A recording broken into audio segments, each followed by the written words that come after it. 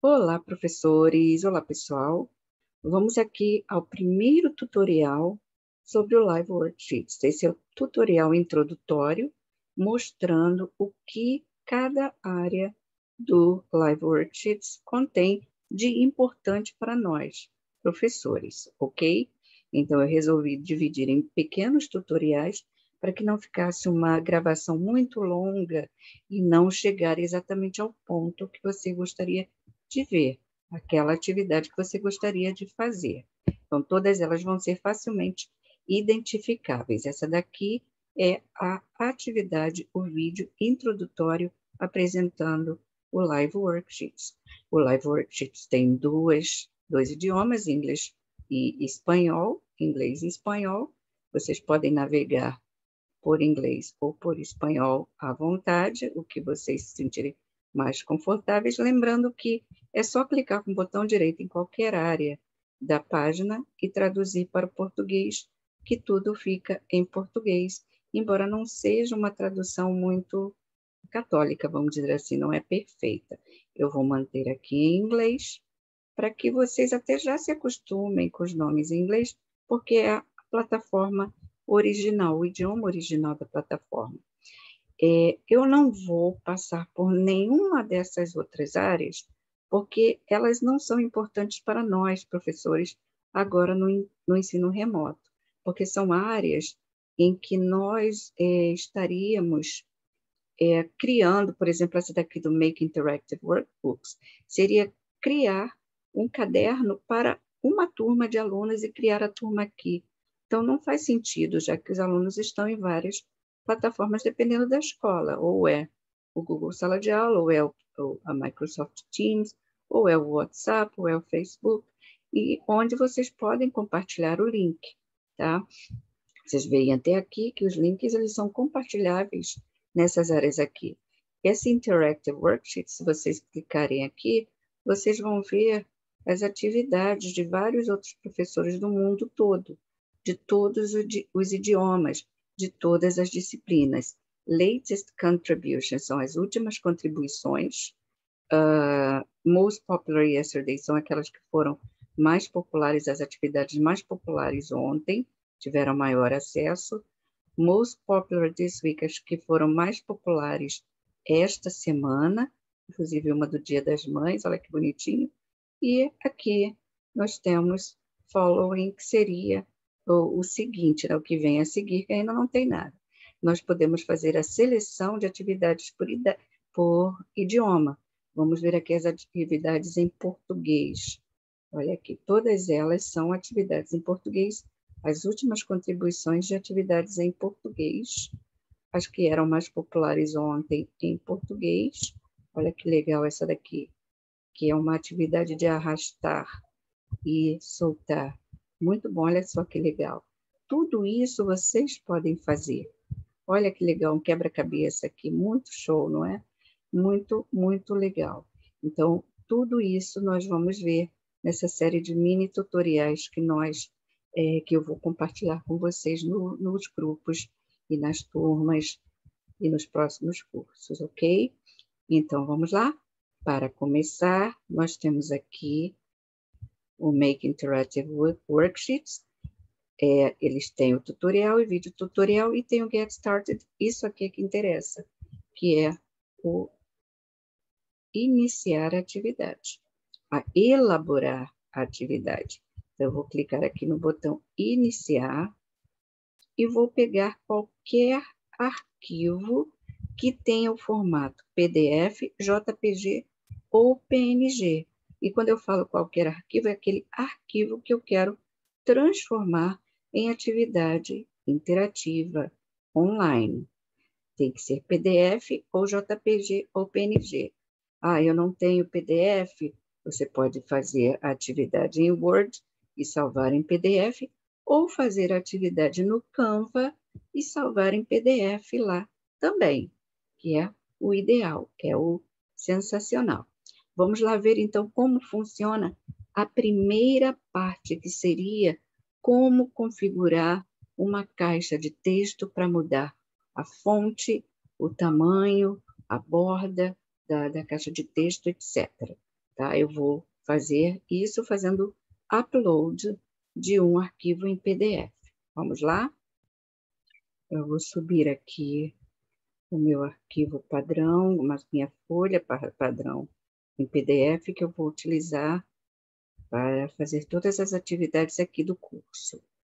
Então, subi aqui, padrão, e aqui está. Então, essa vai ser a atividade para o curso, apenas para os tutoriais. E o que eu quero fazer? Vou apresentar aqui para vocês esses desenhos, esses ícones. Esse é o de editar a atividade, visualizar a atividade, mas só dá para visualizar depois que já houver alguma caixa de texto, é, salvar a atividade na plataforma, descartar a, a atividade se você não quiser mais e atualizar a atividade com alguma alteração futura. Então, primeiro, antes de mais nada, vamos fazer uma caixa de texto. Vou fazer aqui uma pequena caixa de texto. É só arrastar o mouse, o ponteiro do mouse. E agora eu quero simplesmente fazer a, a configuração da fonte e da caixa de texto. Como faz isso? Eu tenho que clicar em visualizar, e aí eu clico aqui dentro, botão uh, direito do mouse, vai aparecer essa janela aqui, onde vocês veem todas as fontes tá, que apresentadas no seu computador, o tamanho da fonte que você vai colocar, a, a, o tipo da fonte, né? A cor da fonte, aliás, a cor da fonte, você pode modificar aqui, a cor do fundo da janela da caixa de texto, e o tamanho está aqui, já vimos, e a borda da caixa de texto. Aqui nós temos a opacidade do background, no caso você coloca uma cor, você quer que ela seja uma cor mais mais transparente ou não, a largura da caixa de texto, da, das bordas da caixa de texto, é, o arredondamento tá, das, dos cantos da caixa de texto e o alinhamento do texto dentro da caixa de texto. Tá? Lembrando que quando é uma produção textual, a justificação, né, o justificar o texto é sempre bom, porque ao chegar ao final da caixa de texto, automaticamente uh, vai se passar para a próxima linha. E aqui você marca quando você quer fazer com que essa, esse padrão, né, essa é, configuração de caixa de texto, seja aplicada a toda a atividade. Como eu não vou fazer a atividade agora, eu não vou deixar marcado, tá? Eu só vou mudar aqui, essa aqui é a fonte padrão, eu vou colocar uma fonte mais bonitinha, vou colocar essa TUI aqui, vou aumentar bastante essa fonte, porque a caixa de texto está bem grande. Vocês veem aqui que a caixa de texto está grande, eu vou mudar a cor da fonte para verde. Desculpa, isso aqui foi o background, deixa eu voltar para branco. Vou mudar a cor da fonte para verde o background, eu vou colocar um cremezinho e a borda eu vou colocar um azul. E aqui eu vou modificando, vou alterar, eu vou fazer, a, olha, ficou mais escuro, ficou branco, e aqui tem um, tá uma cor, lembra que eu coloquei essa cor aqui, né? Foi essa. Não, foi, não, ali é a borda. Tá? Eu mexi na borda. O background foi aqui. É, foi esse aqui que eu mexi. E aí eu vou alterando a opacidade aqui, ó. Se eu coloco em zero, fica branco. Se eu coloco em 0,1, já fica um pouquinho mais escuro. E se eu coloco aqui, vai ficar a cor que está aqui, foi a que eu escolhi, né? Vou colocar aqui um 0, um 0,3, sim. E vou mexer agora na borda. Eu vou pegar essa cor aqui e ah, não vou mexer na opacidade, não. vou mexer na largura, vou colocar uma largura maior, olha lá. E vou colocar um canto mais arredondado. Assim, olha, já arredondou mais, olha, tá vendo? Deixa eu colocar mais arredondada ainda. Arredondou mais ainda. Lembrando que a cor da fonte que eu coloquei foi verde, né? Foi esse verde aqui. Já mudei ali sem querer. Eu quero essa cor aqui, porque estava na borda. E eu vou deixar no centro mesmo, tá? Vou salvar. Já mudei a fonte, o tamanho. Vou salvar. E agora eu venho aqui e escrevo algo. Vou escrever a letra A. Olha lá. Tá vendo? É sempre bom você experimentar. Vou colocar agora uma outra caixa de texto. Vou colocar aqui no modo de edição, tá vendo? Quando é modo, modo de edição, volta para a caixa de texto, mas já está configurado. Vou colocar uma outra caixa de texto, agora vou colocar uma, uma frase. Volto para visualizar. Olha aqui a caixa de texto anterior. O eu é, não salvei para toda a atividade, eu vou conseguir colocar uma outra configuração para essa caixa de texto. Botão direito, vou colocar outra fonte, deixa eu escolher uma outra fonte aqui. Hum, vou colocar essa aqui, Satisfy, meio manuscrito, vou colocar também uma letra bem grande, colocar 80 mesmo. Vamos lá ver cor da fonte. Vou colocar agora um esse vermelho aqui. Cor do background, vou colocar um rosinha. Vou mexer na opacidade, quero um pouquinho menos rosa, clareou um pouquinho. É, vou mexer agora na cor da borda, vou colocar um verde. Cor verde e vou aumentar o tamanho da borda, vou colocar seis. Olha lá. Vou arredondar, vou colocar 12, ficou bem arredondado, e vou deixar o texto justificado à esquerda. Não vou marcar, lembrando que se eu marcar isso aqui, todas as caixas de texto da atividade terão a mesma configuração que essa aqui. Como eu não quero fazer isso agora, eu não vou marcar isso aqui. Lembrando, se você marcar essa opção, aplicar para toda a atividade, essa configuração vai estar presente em todas as caixas de texto que você fizer nesta atividade, tá? Porque nem adianta mudar depois, que não vai mudar, nem editando, tá bom? Então tem que ter muito cuidado. Só, só marque isso aqui se você quer usar a mesma fonte, a mesma cor, o mesmo tamanho para todas as caixas de texto das, da atividade que você está fazendo. Não vou fazer isso porque eu estou fazendo testes para vocês visualizarem as possibilidades. Então, vamos lá. Aqui está a caixa de texto. Eu vou escrever, olha o tamanho que ficou. Meu ficou muito grande. Vou só colocar meu nome. Daisy Barbosa. Aqui nem vai dar. Tá vendo? Deixa eu ver aqui. Eu posso voltar aqui no editar e aumentar. Posso vir para cá.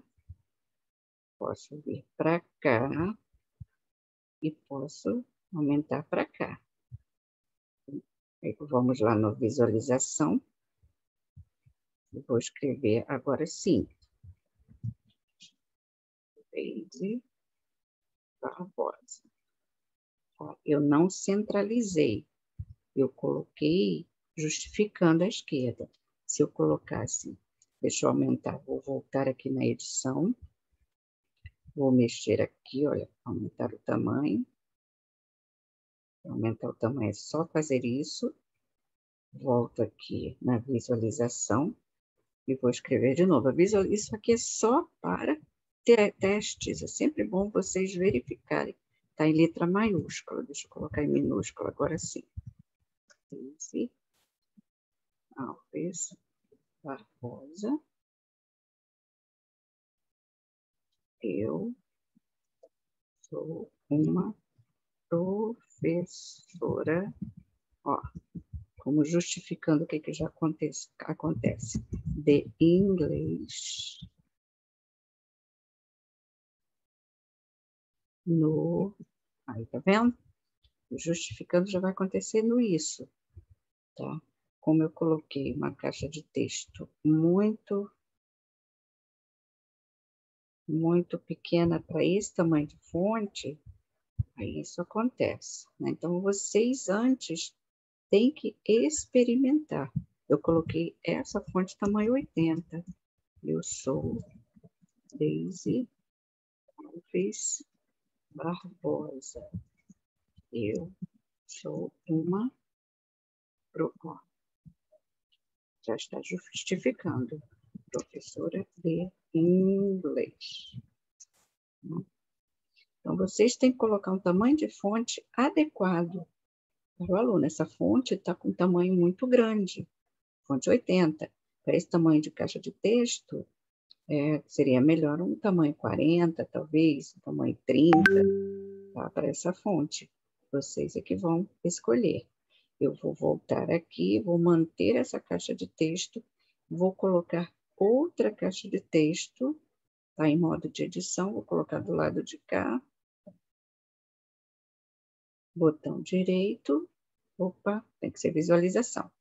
Visualizar, botão direito, Agora, este daqui eu vou mostrar o tamanho normal, que é o padrão né, daqui da, do Live Worksheet. Se vocês não mexerem em nada, isso vai ficar como padrão. Olha só qual é o padrão. Fica centralizado. Ó, esse é o padrão. O nome é Deise Alves Barbosa. Esse é o padrão. Tá? Então, se vocês quiserem justificar, como eu mostrei, olha aqui. Vou botar isso de cá. Momento zoom. Vou aumentar um pouco o tamanho, colocar 22. Olha, já aumentou. Então, é sempre bom vocês escreverem antes e ir mudando. Clipster, escrever antes é melhor. Colocar bangers. Hum.